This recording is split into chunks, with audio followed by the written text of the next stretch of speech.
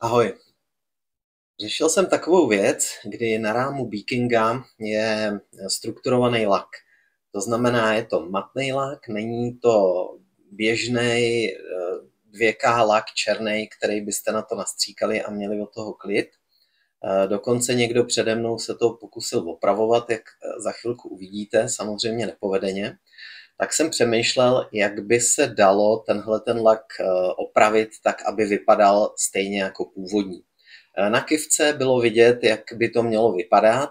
Eh, na rámu už to bylo takový odřený, ale v podstatě jenom na těch místech, kde jsou kolena. To znamená, to jsou ty místa, na které jsem se zaměřil. Neměl jsem nic, co by tohleto napodobilo, ale při opravě jiného auta jsem eh, přišel na lak, který vlastně slouží k opravě struktury na nárazníku. A eh, tak jsem ho zkusil použít tady na tohle a ten výsledek mě velmi mile překvapil, jak trvanlivostí, tak tím vzhledem. Tak se pojďme na to podívat. Tady máte nějakou oděrku, tadyhle se to někdo pokoušel přelakovat, tady jsou další oděrky. Tohle to všecko vypadá příšerně. Takže co jsem začal dělat napřed, nejprve jsem si zamaskoval všechny ty místa, které jsem nechtěl, aby byly poprášený od toho spreje. To znamená na všech stranách, kam by mohl ten sprej dofouknout, tak jsem ty místa zakryl. Takový ty místa, které se hůř zakrývají, tak si jenom přidržením nějakého předmětu zamaskuju po tu chvíli, kdy budu stříkat. To uvidíte za chvilku. Používám obyčejnou papírovou pásku, není ničím zvláštní, není ani krepová, natahovací, je to opravdu ta nejlevnější obyčejná páska, na tohle to stačí. Samozřejmě, kdyby se dělalo něco pořádného, tak asi by to chtělo minimálně tu krepovou pásku. Tak, eh, Tady si to zadělám nějakýma novinama nebo letákama. Na tom asi není nic zajímavého.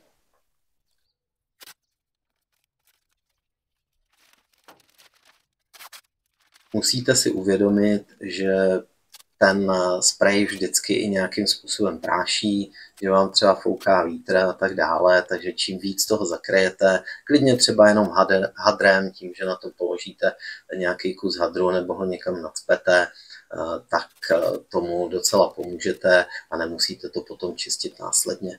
Samozřejmě většinou se to dá i nějak očistit, ale je to prostě práce navíc. Eh, ten povrch já si vždycky napřed umiju lihem, Mám to takhle vyzkoušený, dřív jsem to dělal třeba technickým benzínem, ale ten se mi zdá masnější, takže teď používám prostě vždycky líh, odmastím si to důkladně.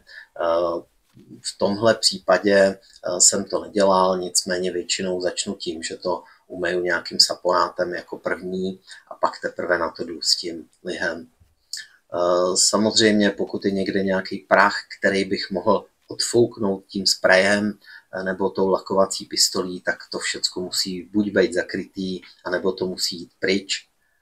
Eh, potom použiju tady ten odstraňovač silikonu, eh, používám ho na veškeré lakování, už dneska i na ty drobnější věci, které dělám jenom sprejem, protože se velmi dobře zbavuje veškeré mastnoty, různých vosků a těchto těch věcí, které zejména na těch věci od auta, který člověk občas leští, ulpívají a eh, v té barvě to nedělá dobrotu.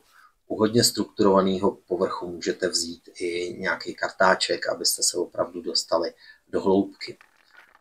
Pěkně si to osuším a zároveň to trochu nahřeju, protože eh, venku je chladno a tyhle ty věci by se měly dělat ve 20 stupních což určitě eh, není, ale neznamená to, že by to byl nějaký velký problém. Eh, jenom to bude díl schnout a samozřejmě, pokud by to bylo hodně chladný, tak by se to mohlo špatně rozlejvat.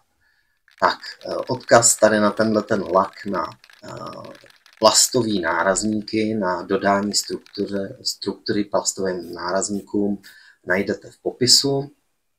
Já si tady vezmu tenhle ten tohle tvrdý smirkový plátno, tenhle ten šmirgl papír a tím si zacloním ty místa, který nechci mít zaprášený.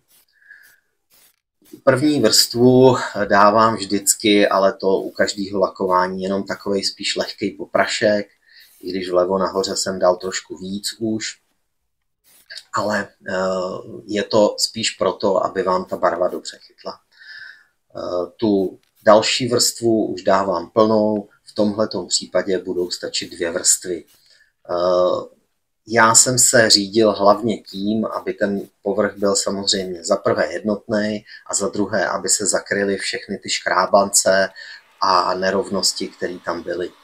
Opět si to vezmu horkovzdušnou pistolí, za normálního počasí eh, tohle to klidně můžete vynechat, anebo to tím přirychlíte, pokud chcete, ale samozřejmě musíte to dělat s citem, protože eh, ta barva by vám mohla začít odtěkávat příliš rychle a jakmile to ředidlo z toho odtěkává rychle, tak se v tom dělají takové dírky nebo se to skrabatí a podobně.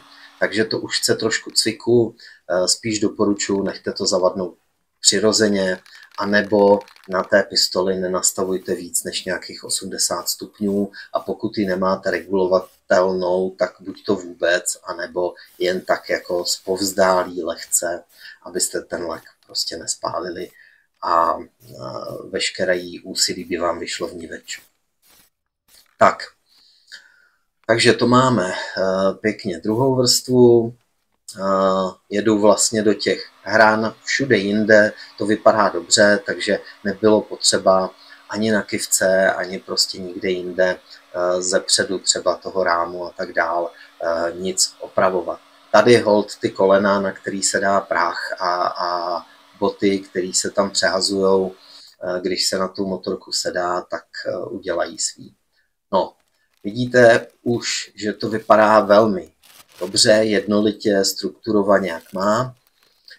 A myslím si, že podle těch zkušebních vlastně nástřiků, který jsem si dělal, než jsem si to troufnul dát na tu motorku, eh, tak věřím, že to bude dostatečně trvanlivý a to samozřejmě ukáže až další sezóna, ale zdá se mi to velmi dobrý. Tak tady to vidíte zblízka, jel jsem možná trošku moc rychle, ale tu strukturu tam vidíte, vidíte, že eh, tam nejsou žádný eh, nepěkný plochy, žádný prodřeniny nebo něco takového, jako tam bylo předtím. Mrkneme se i na druhou stranu, eh, kde jsem to samozřejmě udělal taky, tam dokonce to bylo ještě horší v jednom místě, nicméně v tuhle tu chvíli to vypadá eh, jako originál, vypadá to vlastně stejně jako kivka. No a to je vlastně všecko. Eh, pokud vám tohleto video nějak pomohlo, nebo jenom oceňujete to, že jsem s ním měl tu práci, tak dejte like, mně to pomůže, vám to nic neudělá a já budu mít zase energii do dalších videí. Samozřejmě dejte odběr, dejte si zvoneček, až bude další video na podobný téma, tak se u něho určitě sejdeme. Tak puste se do toho a nebojte se, zvládnete to taky. Tak ahoj.